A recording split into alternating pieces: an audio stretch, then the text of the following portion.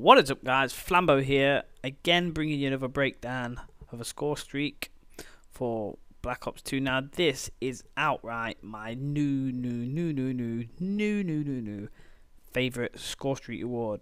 It's very high on the list, nonetheless, if you get it in a care package, which I have twice, then you will be very, very, very happy person. Now, this score streak award is the Warthog now the Warthog, it is pretty much like the airstrike or Harrier strike of um, Modern Warfare 2 um, and previous colleges, but it's just a beast, guys. Um, it it circles round above the map. Um, it makes four drops, and these drops kind of target the enemies. I mean, every time that I've got it, I've got at least seven kills with it. At least. Um, I picked up a few there.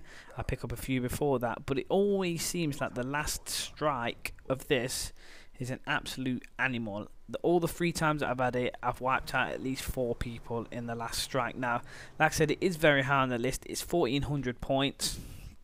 It's in line with the Lodestar, um, which is a very good kill streak. Um, but again, guys, if you could have all three of them, whack them on with the VTOL warship, then I would. Um, let me know if you've got this one, guys, and what you think of it, and check the links in the description below.